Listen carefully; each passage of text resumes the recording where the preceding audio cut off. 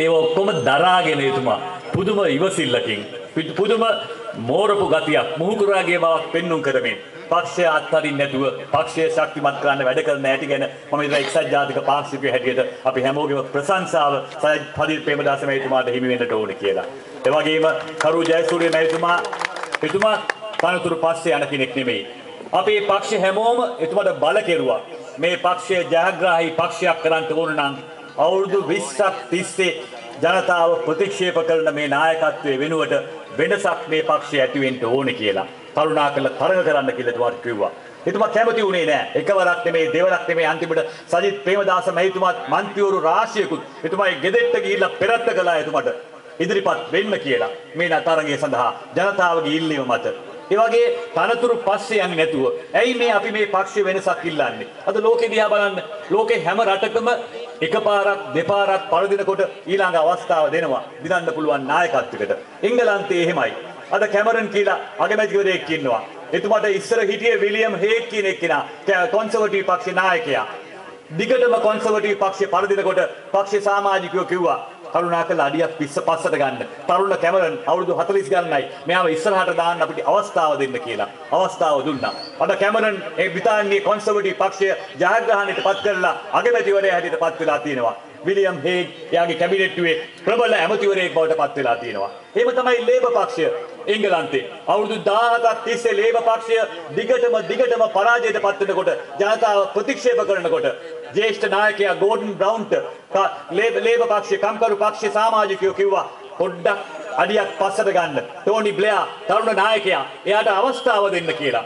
බ්ලෙයාට අවස්ථාව දුන්නා. ටෝනි බ්ලෙයා අවුරුදු 17ක පරාජයෙන් පස්සේ ලේබර් පක්ෂය බ්‍රිතාන්‍යයේ ජයග්‍රාහී පක්ෂයක් බවට පත් කළා. මොකද කළේ බ්ලෙයා ඊට පස්සේ? ගෝඩන් බ්‍රවුන් කියන එක්කෙනාව තමන්ගේ මුදල් ඇමතුමා හැටියට පත් කරගත්තා. අපිට ඕස්ට්‍රේලියාව ගත්තත්, කැනඩාව ගත්තත්, මොන දේශපාලන පක්ෂයක් ගත්තත් මේක තමයි අපිට පේන උදාහරණ ප්‍රජාතන්ත්‍රවාදී සමාජවල. අපි අවුරුදු 20ක් තිස්සේ පරදිනවා, පරදිනවා, පරදිනවා. අපේ පක්ෂේ සමාජිකයෝ කියනවා මේක ශක්තිමත් කරන්න ජයග්‍රාහී පක්ෂයක් කරන්න වෙනසක් අවශ්‍යයි කියලා. ජනතාවගේ හඬ එක පැත්තකින් එතුමා ගිහිල්ලා මේ ආණ්ඩුව මේ රට මේ විදිහට විනාශ කරද්දී මිනිසුන්ට ජීවත් වෙන්න ජීවත් වීම අපහසු තත්ත්වයකට පත් කරලා තියෙද්දී තෙල් මිල වැඩි වෙන ප්‍රමාණය නෙවෙයි ඊට වඩා 10 ගුණයක් වැඩි කරලා මිනිසුන්ට බරපතවද්දී භූමි තෙල් වැඩි කරද්දී පෙට්‍රල් වැඩි කරද්දී ඩීසල් වැඩි කරද්දී පාන් ටික වැඩි කරද්දී බස් ගාස්තු වැඩි කරද්දී අපිට පොලිමට කියාගෙන යන්න පුළුවන් වැඩි කරද්දී ශක්තිමත් විපක්ෂයක් අවශ්‍යයි ප්‍රබල විපක්ෂයක් අවශ්‍යයි හැම ජන කොටසක්ම එකතු කරන්න පුළුවන් ශක්තිමත් පක්ෂයක් බවට එක්සත් ජාතික පක්ෂය පත් වෙන්නට ඕනේ. සියලු පක්ෂ ඒකරාශී කරන්න පුළුවන් ආකර්ශනීය නායකත්වයක් එක්සත් ජාතික පක්ෂයට අවශ්‍යයි. ඒ වෙනුවට එතුමා මොනවද කරන්නේ? පානදුර ගිහිල්ලා සජිත් ප්‍රේමදාස මහතුමා මට කතාවක් දෙන්න කියලා ඉල්ලුවේ නෑ. කරු ජයසූරිය මහතුමා මට කතාවක් දෙන්න කියලා ඉල්ලුවේ නෑ. දයාසිරි ජයසේකර මහතුමා මට කතාවක් දෙන්න කියලා ඉල්ලුවේ නෑ. ඇවිල්ලා හිටපු ජනතාව කිව්වා සජිත්ට කතාවක් දෙන්න, කරුට කතාවක් දෙන්න, දයාසිරිට කතාවක් දෙන්න කියලා. බලන්න මොනතරම් වෛරෙන්ද හැසිරුණේ. මොනතරම් කුහකත්වයෙන්ද හැසිරුණේ. මයික්‍රොෆෝනේ උදුරගත්ත හැටි තමුන්නාසට මෙරටේ ජනතාව ටීවී එකෙන් දැක්කා. මෙහෙම පක්ෂයක් ඉස්සරහට ගෙනියන්න පුළුවන්ද? මම තමුන්නාසගෙන් අහනවා. ආකර්ශනීය නායකයින්ව කුණු කූඩේට දාලා බෙල්ලෙන් අල්ලලා එළියට දානවා. හෙට පවුලේ බූදලේ වගේ කතා කරන්නේ. මෙහෙම පක්ෂයක් ඉස්සරහට ගෙනියන්න පුළුවන්ද? මම තමුන්නාසගෙන් අහනවා. අවුරුදු ගණනාවක් මම මේවා විඳගෙන හිටියා. එක්සත් ජාතික පක්ෂය ඇතුලේ. පුද්ගලයෙක්ගේ කෙනෙහිලිකම් හින්දා පක්ෂයක් දාලා යන්න අපිට පුළුවන් කමක් නැහැ. මම මට මතකයි එතුමා පලස්තීනයේ සම්බන්ධයෙන් පාර්ලිමේන්තුවේ කතා කරන්න යනකොට විදේශ ඇමතිතුමා මංගාවට එව්වා. කතා කරන්න එපා. ඇමරිකාවේ ආධාර අපට අහිමි වෙයි. කතා කරන්න එපයි කියලා කිව්වා. මම කිව්වා මේක එක්සත් ජාතික පක්ෂයේ උරුමේ. මේක මුදල් පනතක් නෙමෙයි ආණ්ඩුව පෙරලන පනතක් නෙමෙයි. ඩී.එස්. නායක මහත්මයා, ඩල්ලිස් නායක මහත්මයා, ප්‍රේමදාස මහත්මයා මේ හැමෝම පලස්තීනයට පක්ෂවයි හිටියේ.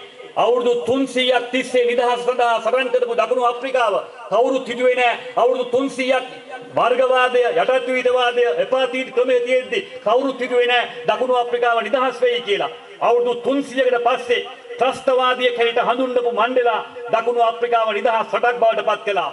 අද අවුරුදු 60 ගණනක් තිස්සේ තමන්ගේ මාතෘ භූමියේ නිදහස වෙනුවෙන් පලස්තීන මිනිස්සු සටන් කරනවා. ඒ වෙනුවෙන් අපේ සහයෝගිතාවය පළ කරන්න මම පාර්ලිමේන්තුවේ කතා කරන්න හැදුවම ප්‍රේමදාස මැතිතුමා ගිය පාර අමතක කරලා ඩඩ්ලි සේනානායක මැතිතුමා ගිය පාර අමතක කරලා ඩී.එස්. සේනානායක මැතිතුමා ගිය පාර අමතක කරලා මට කිව්වා පලස්තීන ගැන කතා කරන්න එපයි කියලා. අධ්‍යාපන ඇමතිතුමා හැටියට රනිල් වික්‍රමසිංහ මැතිතුමා හිටියා.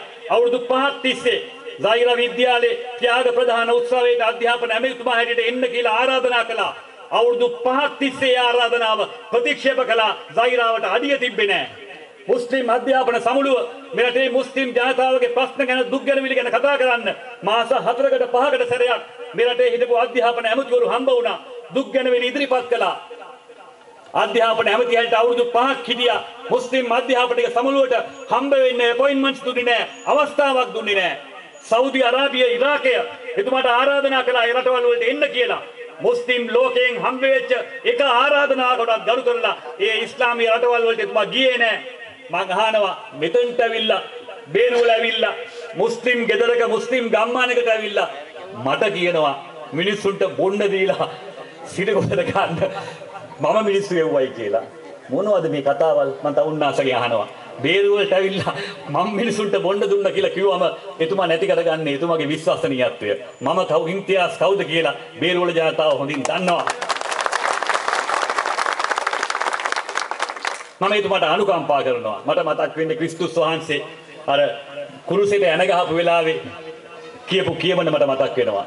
පියාණනි ඔවුන්ගේ නොදැනුවත්කමට සමාව දෙන්න කියලා ක්‍රිස්තුස් වහන්සේ කිව්වා. මටත් අපේ නායකතුමාට කියන්න තියෙන්නේ ඔබතුමාගේ නොදැනුවත්කම හරි වෛරයට හරි කුහකමට හරි සමාව දෙන්න කියලා මම දෙවියන්ගෙන් ඉල්ලනවා. මට මතක් වෙනවා බුදුරජාණන් වහන්සේ ධම්මපදයේ බුදුවදන මට මතක් වෙනවා. අර නහි වේරින ගාතාව. වෛරයෙන් වෛරය සංසිඳෙන්නේ නැහැ. අවෛරයෙන්ම වෛරය සංසිඳව ගන්න ඕනේ කියලා උන්වහන්සේ කිව්වා. මම එතුමාට මතක් කරන්න කැමතියි ඒක. මට මතක් වෙනවා මහමතුමා කියපු කියමන. එතුමා කිව්වා උන්වහන්සේ කිව්වා වෛරයෙන් ද්වේෂයෙන් කවුරු හරි වැඩ කළයි කියලා කෝප වෙලා තීන්දුව ගන්න එපා. කියලා එතුමා කිව්වා. දෙවියන් ඔක්කොම බලන් ඉන්නවා. දෙවියන් ඔක්කොම දැනගෙන ඉන්නවා. ඒ හින්දා ඔබේ තීන්දුව වෛරයෙන්, ක්‍රෝධයෙන් ගත යුතු නැහැයි කියලා. එහෙනම් මම රනිල් වික්‍රමසිංහ මහතුමාට වෛර කරන්නේ නැහැ. මම කෝප කරන්නේ කෝප වෙන්නේ නැහැ එතුමා ගැන. මම එතුමාට අනුකම්පා කරනවා කියලා මම මේ අවස්ථාවේදී මතක් කරන්න කැමතියි. මම කනගාටු වෙනවා. එතුමා අපේ පක්ෂය හෙළලා තියෙන මේ තත්ත්වය ගැන. මේ පක්ෂය මේ විදිහට ප්‍රපාතයට හෙලන්න ඉඩ දීලා අපට බලන් ඉන්න පුළුවන් කමක් නැහැ. අද අපේ රටේ මිනිස්සුන්ගේ ආර්ථික ප්‍රශ්න විතරක් නෙමෙයි. බලන්න යුද්ධය ඉවරයි. නමුත් අම ආණ්ඩුවේ ආරක්ෂක වැය ශීර්ෂයේ මුදල් අඩු වෙන්නේ නැහැ. එන්න එන්න වැඩි වෙනවා. ඇයි මේ? බැටන් පොළු වලට, කඳුළු ගෑස් වලට මිනිසුන්ව මර්ධනය කරන්න අවශ්‍ය නව තාක්ෂණික උපකරණ වලට සල්ලි වෙන් කරනවා. මිනිස්සු හොඳින් ජීවත් වෙනවා නම් ආශ්චර්ය කරා ගමන් කරනවා නම් මොකටද දෙයනේ මර්ධනය සඳහා ආයු ආයුධ ගන්නෙ?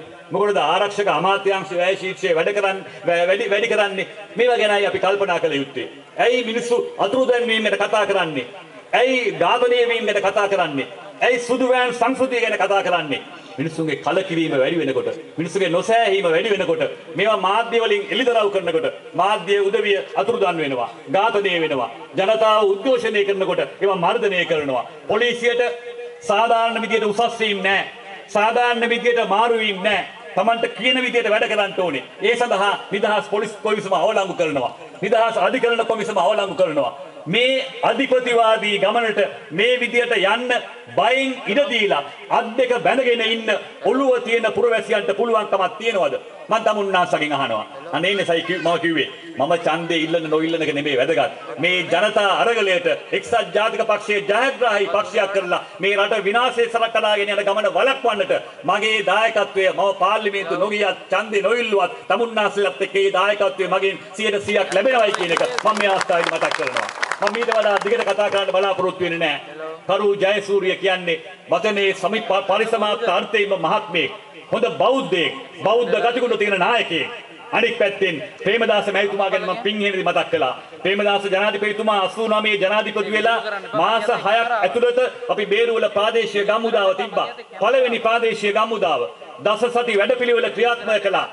අපි කාලවිල් කන්ද බදනගොඩ මංහන්දිය හෙරලත් කුඩුව අඹේ පිටිය වතුර ටැප් දැකපු නැති බේරු වලට වතුර ටැප් දීලා හැම පාරකම වතුර ලයින් එක දීලා පැය 24ම වතුර දීලා ප්‍රජාශාලාවල් හදලා ලයිට් නැති පළාත් වලට ලයිට් දීලා ලයිට් ගන්න බැරි වෙච්ච මිනිසුන්ට බැංකුව ගමට ගෙනල්ලා ජංගම සේවා තියලා ඒ සල්ලි නැති මිනිසුන්ට බැංකුවෙන් ණය දීලා ගෙවල් වලට ලයිට් දීපු හැටි මට මතක් වෙනවා. එතුමාට පින් සිද්ධ වෙන්න මේ වැල්ල මේ වැල්ල මුහුද පොළව මේ පොළව අපේ මහ පොළව උදුර ගන්නකොට. අර ගොරකදුව ගමෙන් භාගයක් දැන් නැහැ භාගයයි තියෙන්නේ. ඒ කාලේ මොනවද කළේ? ප්‍රේමදාස ජනාධිපතිතුමා ජනාධිපති වෙන්න ඉස්සෙල්ලා. වැලිගෝණි ගෙනල්ලා තමයි අපි වැලැක්කුවේ ඒ වෙනුවට ආසියානු සංවර්ධන බැංකුවේ ආයාර ආධාර අරගෙන මේ මහා ගල් වැටි බැන්දේ. ඒ යුගයේදී අපි මට මතක් වෙනවා. වත්තිමි රාජපුර මට මතක් වෙනවා. දැන් පැය 24ම වතුර නෙමෙයි. දවස් කීයකට සැරයක්ද වතුර හම්බ වෙන්නේ. වතුර ඒ කාලේ පැයක් දෙකක් වතුර ප්‍රමාද වුණත් අපිට මිනිස්සු වයින්නවා. එක ලෑලි ගයක්, එක පොල්ලතු පැලක් අපි තිබ්බේ නෑ. ඒවා හොය හොයා ගිහිල්ලා ඒවට විසඳුම් දුන්නා. ආණ්ඩුවේ සල්ලි නැත්නම් දානපතිය හොයාගෙන හරියට ප්‍රශ්න වලට විසඳුම් දුන්නා. ඒ ප්‍රේමදාස යුගයට වඩා මිනිස්සුන්ගේ පැතුම් ඉටු වෙන බලාපොරොත්තු ඉටු වෙන කරදරයක් නැතුව ජීවත් වෙන්න පුළුවන්. අභිමානවත් යුගයක් ඉටු කරන්න සජිත් කරු යුගලයත් එක්ක අපි සිහින දකිනවා. ඒ සිහින සැබෑ කරන්න අපි එක්සත් ජාතික පක්ෂය ශක්තිමත් කළ යුතුයි. අන්න ඒකට දායක වෙන්න කියලා තමුන්නාසගෙන් ඉල්ලමින් මේ රැ- මේ උත්සවය සාර්ථක කරගන්න මහන්සි වෙච්ච අපේ ප්‍රාදේශ සභා මන්ත්‍රීවරු නාගරික මන්ත්‍රීවරු චමිල මෝතිලාල් අ, ප්‍රස- ප්‍රසන්න මට නම් මන්දන අක්‍රම මේ පුරාත් නම් ලයිස්තුවක් මට කියන්න වෙනවා. මම ඒ ඔක්කොම කියන්න ම- ඈ? ලිෆ්ට් ලිෆ්ට් ඩේ මම සමල දන්නවා ලයිස්තුව මේ සියලුම තරුණ ළමයින්ට මගේ ස්තුතිය පුද කළා. රෑ බෝ වෙනකන් මෙතන ඉඳගෙන අපේ මේ ගමනට ආශිර්වාද කරන තමුන්නාසට මගේ ස්තුතිය පුද කළා. එක්සත් ජාතික පක්ෂයට ජය වේවා. ශ්‍රී ලංකාවේ අනාගතයට ජය වේවා කියලා ප්‍රාර්ථනා කළා. මම කතාව අවසන් කරනවා. බොහොම ස්තුතියි.